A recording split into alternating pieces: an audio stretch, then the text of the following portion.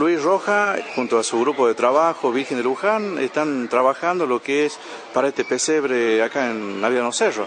Eh, sí, bueno, como usted lo está viendo acá, este, hicimos ya hace más de 15 días que estamos acá en el predio de Atlético, donde se hizo todo lo que es eh, la movilización, ¿no? Del tema de las casitas, eh, el tema donde la carpintería de José, el nacimiento, el templo, pero antes de eso, bueno, se tuvo que repasar este, lo que es la limpieza, ¿no? Del predio, por donde caminan de noche ¿no? los actores, que cuando se hace lo que es el PCR viviente. ¿no?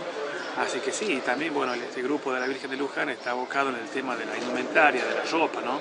de todos los artistas que vienen a ser de los romanos, este, el tema de los reyes magos, eh, de los animales, eh, que, también salen, o sea, representando como un camello para los reyes magos, ¿no? Este, bueno, y la parte de abastecimiento también que vamos a prestar servicio esta noche, ¿no?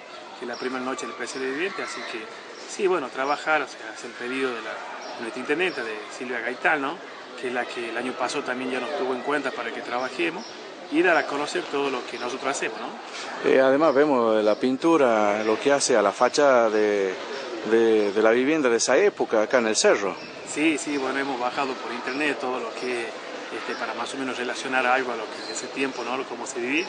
Así que gracias a Dios nos salió bien el trabajo y y bueno, trabajar para que esto sea una, verdadera fiesta, ¿no? Está bien. Sí, bueno, ¿cuántos son del grupo de ustedes? Este, nosotros somos 15, el grupo abarca casi 35 personas, pero por razones de trabajo, eh, muchos no pueden participar, ¿no? Pero somos 15 los que estamos ahora trabajando acá, este, abocados a todo lo que es el PC de vivienda. ¿A ustedes le entregaron alguna indumentaria o no?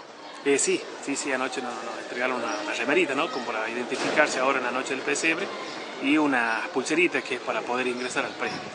Sí, por el control, digamos, ¿no? Por el control, sí, sí, muy bien organizado. También agradecerle acá a Marito Andrada, ¿no? Que, que nos, tuvo en cuenta para poder trabajar, así que bueno, como usted lo ve, este, ya está todo terminado, también el movimiento de lo que es la estrella, que nosotros, si me recordaste, siempre llegaba hasta un poco, no vale. Antes de la mitad, digamos, se quedaba corto para el niño. hemos tenido, bueno, nosotros ya teníamos la idea de cómo hacer la andada, así que anoche ya se probó, no sé si lo pudo ver, llegó hasta, hasta donde es el nacimiento, así que la pudimos hacer llegar y bueno, creo que esta noche y mañana va a llegar también la estrella. Va a llegar y esperemos que este año 2018 llegue para todos, ¿no? Exactamente, sí, que sea una bendición todo esto para todos los chilecitos y para todo este, este pueblo argentino, ¿no?